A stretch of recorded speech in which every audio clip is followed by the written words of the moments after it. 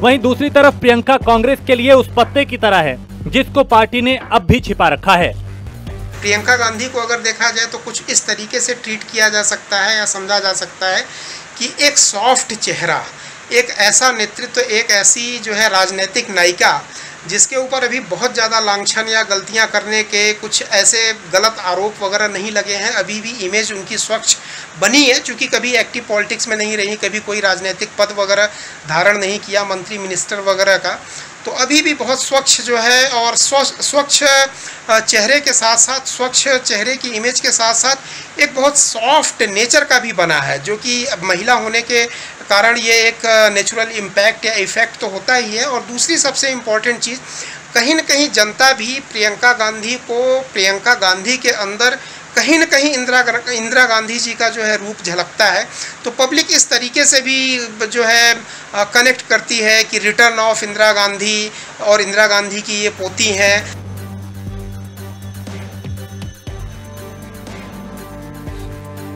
प्रियंका गांधी को हमेशा से कांग्रेस इंदिरा गांधी की जगह पेश करती रही है। ऐसे में एक बार फिर प्रियंका को इंदिरा गांधी की तरह मज़बूत नेता बनाकर पेश करने की तैयारी है। कई सालों से एकदम कांग्रेस जो है इनएक्टिव पड़ी हुई है।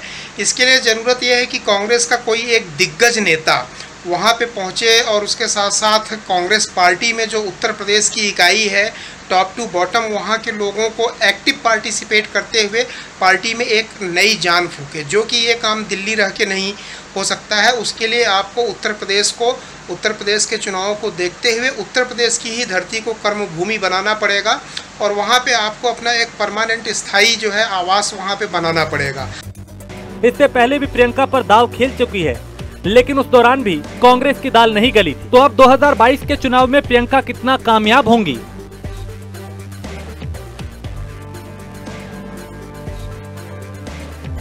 पिछली बार जो आई थी, आप उसको एक ट्रायल मान लीजिए, या उतना डेडिकेशन नहीं था, या समस्या को उतने गंभीर तरीके से ये लोग समझ नहीं पाए थे। लेकिन मुझे ये लगता है कि अब की बार इन्होंने गंभीरता से समस्या को समझा है। इसीलिए छः महीने, आठ महीने पहले लगातार जो है वहाँ उत्तर प्रदेश में रहते हुए अपना निवास स्थान वहीं पे शिफ्ट करने का जो प्लान बनाया है तो लगता है कि कांग्रेस को भी गंभीरता समझ में आ गई है कि अगर कांग्रेस को रिवाइव करवाना है भारत में तो वो उत्तर प्रदेश से होगा। अगर संसद में रिवाइव करवाना है तो कांग्रेस को सबसे पहले जो है रिवाइव करवाना होगा उत्तर प्रदेश में। और उत्तर प्रदेश के लोगों के बीच पकड़ बनाने के लिए ये ज़रूरी है कि वहाँ पे एक कोई कद्दावर नेतृत्व का जो है सहयोग मिले। अब ये दाव कितना कामयाब होगा, ये तो वक्त ही बताएगा।